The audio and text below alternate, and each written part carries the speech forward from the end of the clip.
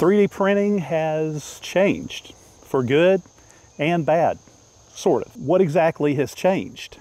I can answer that with one simple word Bambu. While I'm going to mention a few things that are specific to Bambu printers, most of this information is going to be pretty relevant to most newer 3D printers. Well, before we get into some really deep stuff, I wanted to give you some basic information to get you started. First up, when you get your print going, most printers are going to print a line, either to the side or on the front of your build plate. Now this is called a purge line, and the intention is to get the filament flowing before it tries to create your print. If it didn't do this, well, there's a chance that your first line on the print may not get printed, and then there's nothing to build on with the next layer. Along with the purge line on multicolor printers like the ones from Bambu, when you're printing in color, you're going to have a square or a rectangular box that gets printed on the back of your build plate. Now this is called a purge tower. Once you're done printing, you'll notice this purge tower probably has the same color layers as your print. And just like the purge line, it's intentional and necessary for swapping out colors and getting that filament flowing. Where the filament comes out and touches the build plate, that's your nozzle. And just above that's the hot end, or it may be called the heat block. There should be a silicone cover of some color that goes over this area. It's called a silicone sock, and that's there to help your nozzle have consistent temps and not overheat. If the sock's missing or it's badly damaged, well, you could have some very inconsistent temps that will cause your filament to extrude in very bad ways. Or it could even stop extruding, getting the infamous clog, and nobody wants that. Ain't nobody got time for that. And one last thing in this section, I'm going to talk about a number of different printers, and you've probably already heard terms like Core XY and Bedslinger. In simple terms, a Core XY 3D printer is one where the bed goes up and down. That's the Z axis. So the core of the machine is the X and the Y. That has the head of the machine.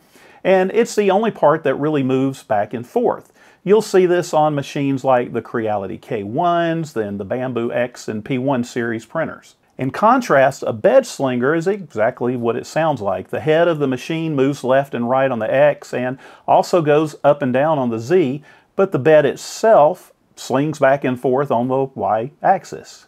The Bambu A1s, the longer LKs, the enders, all of those are bed slingers. After all of that, the next thing you should really know about is calibration. And most 3D printers that have come out in the past few years have all sorts of tests built in.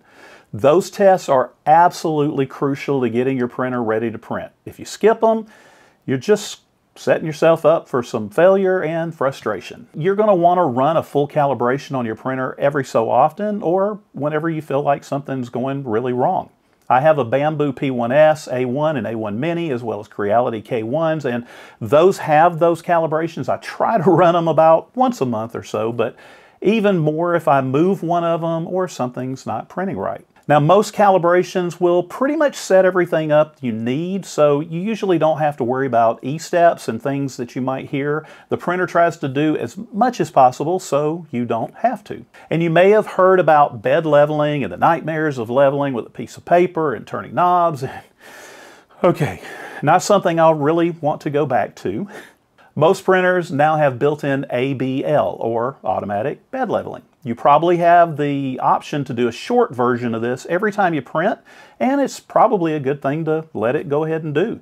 You'll know your printer's leveling when the nozzle goes around the bed, touches different points a few times before it moves on. Running a full ABL calibration is usually part of the full calibration test that you run, but you can usually do a full one if you have some issues. And this is a good first thing to do if you're having consistent problems with a print. Well, after you clean your build plate really well. Next up is filament settings. Orca Slicer, Bambu Studio, Creality Slicer, and even others, they've tried to make things as easy as possible for you. In general, you won't need to make a whole lot of changes to your filament settings, especially as a beginner. In most cases, you should be able to set the profile to a specific brand filament if it's available, or you'll have some sort of generic brand listing. Now these settings that you're going to choose, they're going to have some of the most general settings available for that brand or just generic in general, and that hopefully will give you a great print. Now, note that I said general settings. These can always be changed, but for beginners and even a lot of pros, you'll most likely find these settings work just great for most prints. These filament profile settings have a range of temperatures that work for your filament. And if you have a Bambu in particular, your printer's supposed to constantly check different settings to provide the best extrusion for the best print. And depending on your print speed and complexity of the print, you may find some of those settings do need to be changed. But that can come later when you're more comfortable with your printer and how these settings work.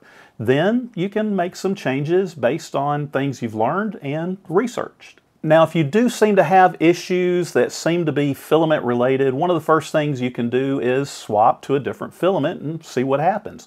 Different brands do different things and try a different profile. Also, you've probably heard at least a little bit about one of the biggest 3D printing debates, and that's regarding filament moisture.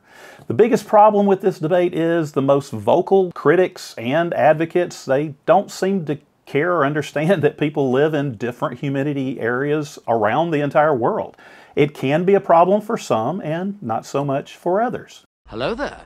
The thing to remember is that water boils at 100 degrees Celsius and your filament extrudes somewhere around 200 degrees Celsius or more. So if you hear popping sounds as you extrude your filament or it's brittle and snaps easily, well, that's when you know you probably have an issue.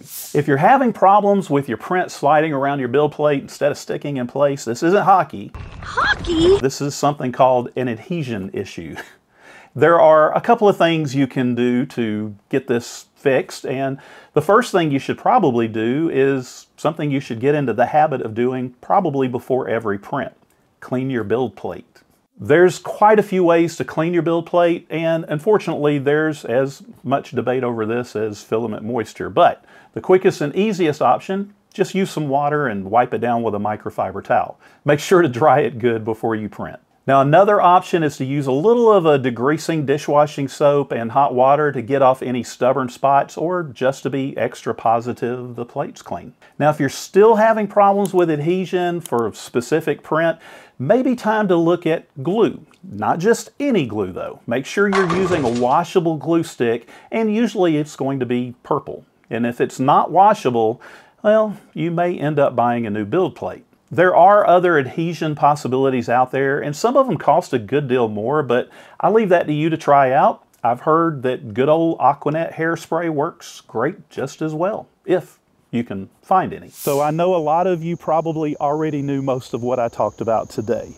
That's fine. It's never a bad thing to get a reminder about all those little things that we take for granted, especially as we try to help out others who are feeling a little lost.